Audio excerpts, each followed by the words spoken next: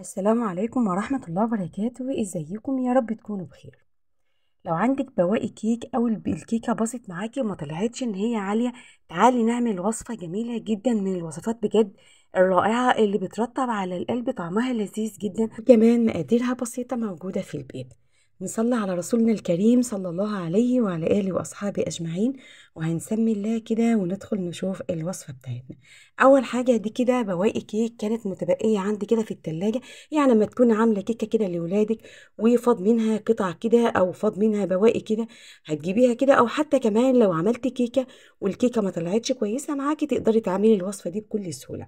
جبت كده بواقي الكيك كده من التلاجة وقعدت كده كسرتهم كده شوية فرفتهم بالشكل ده كده وبعد كده أي صينية عندك وابدأي إن انت افردي قطع الكيك دي كده فيها. ممكن برضو بدل الكيك ده تستعملي بسكوت وممكن لو عايزة تعملي كيكه رفيعة خالص وتعمليها كمان بنفس الطريقة دي كده.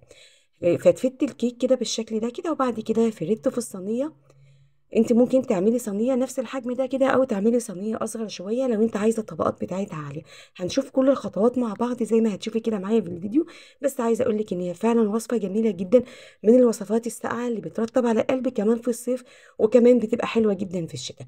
فردت كده الكيك بتاعنا كده في الصينية بالشكل ده كده وكمان ضغطت عليه كده ضغطة بسيطة وبعد كده جبت هنا نص كانت نص كوباية كده من اللبن وهبدأ اسقي الكيك بتاعنا عشان يبقى شارب كمية حلوة كده من اللبن ويبقى طري كده معانا.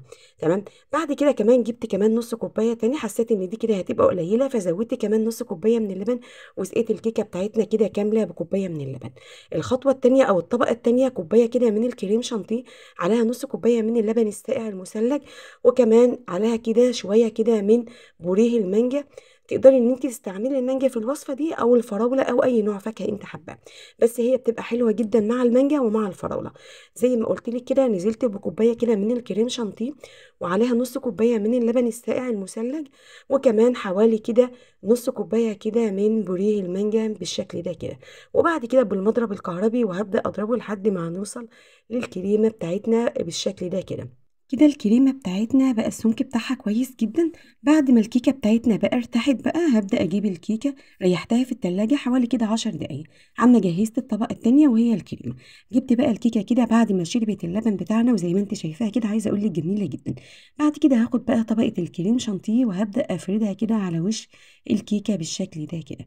لو عايزة تزودي الكريم شانتيه براحتك. يعني الطبقات اللي هي بتاعت الكيكة دي انت تقدري تعمليها زي ما انت عايزة تقدري تزوديها أو تعمليها زي ما أنا عايز عامله كده بالظبط بعد كده بدأت أسوي بقى الكريمة كده على وش الكيكة بالشكل ده كده.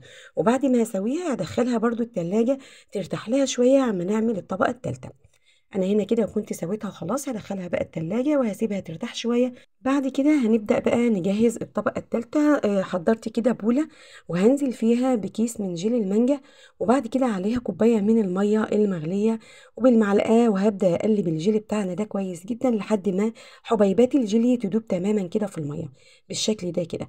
عايزة تضاعفي كمية الجيلي بتبقى جميلة جدا. يعني أنا هنا مشيت بالحاجات اللي كانت متواجدة عندي المكونات اللي كانت متواجدة عندي. بس انت لو زودتي كمان كيس من الجيلي بتبقى طبقة الجيلي كده بتبقى عالية وبتبقى جميلة جدا.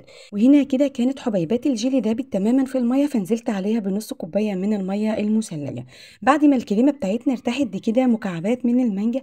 هنبدأ بقى نوزع مكعبات المانجا كده. المانجا دي كنت مفرزاها في الفريزر. هبدأ أوزع مكعبات المانجا كده على الكريمة. وزي ما قلت لك كانت الكريمة والكيكة ارتاحوا كويس جدا في التلاجة. فبعد كده هوزع بقى مكعبات المانجا كده على الكريمة بالشكل ده كده. في الخطوة دي تقدري انت ان انت تضيفي معاها أي نوع فاكهة انت عايزاه. يعني لو انت ضفتي معاها الموز بيبقى تحفة بجد. لو عملتي ال mix ده فراولة وموز بيبقى جميل جدا. عملتها قبل كده كذا مرة بالفراولة والموز بس كانت تحفة بجد. جربي الطريقة دي وجربي طريقة الفراولة والموز بتطلع جميلة جدا. زي ما قلت لك أي نوع فاكهة أنت عايزاه تقدري تضيفيه في الخطوة دي كده. بعد ما فردتي كده الفاكهة بتاعتنا المو- المانجا كده بالشكل ده كده على وش ال- الكريمة بعد كده هنج- هنجيب بقى الجيلي بتاعنا الجيلي كان بارد تماما ما ينفعش تضيفي الجيلي على الطبقات دي كده والجيلي يكون سخن. الجيلي كان بارد معانا تماما بعد كده على المعلقة وبدأت أصب كده الجيلي على وش الكيكة بتاعتنا بالشكل ده كده. بعد كده هدخلها التلاجة قعدت بالظبط معايا تلات أرباع ساعة.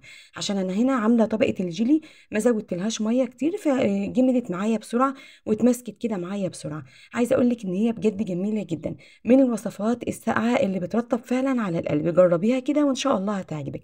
هنقطعها كده مع بعض وكمان نشوف الطبقات بتاعتها. وزي ما قلت لك أنت لو أنت حابة إن أنت تعلي الطبقات بتاعتها زودي طبقة الكريمة وكمان زودي طبقة الجيلي هتطلع الطبقات بتاعتها أعلى من ما أنا عاملاها كده بالظبط. بس عايزة أقول لك إن أنا مشيت فعلا بالوصفات بالمقادير اللي كانت متواجدة عندي في البيت بس طعمها بجد تحفة جدا طعمها جميل جدا. mix اللي الكيكة كده اللي شاربة كمية حلوة كده من اللبن مع الكريمة اللي أخدة طعم المانجا مع الجيلي ومكعبات المانجا. عايزة أقول لك إن هو mix جميل جدا طعمها بجد لذيذ جدا. جربيها كده وإن شاء الله هتعجبك. أتمنى فيديو النهارده يكون عجبكم. ما تنسينيش بقى في اللايك للفيديو وتشتركي في القناة وتفعلي الجرس على الكل عشان لما أنزل أي فيديو جديد يجيلك إشعار بالفيديو الجديد.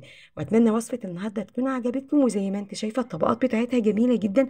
إيه عايزة أقول لك بجد والله طعمها لذيذ جدا. جربيها ومش هتندمي. وأشوفكم فيديو جديد إن شاء الله على خير. والسلام عليكم ورحمة الله وبركاته.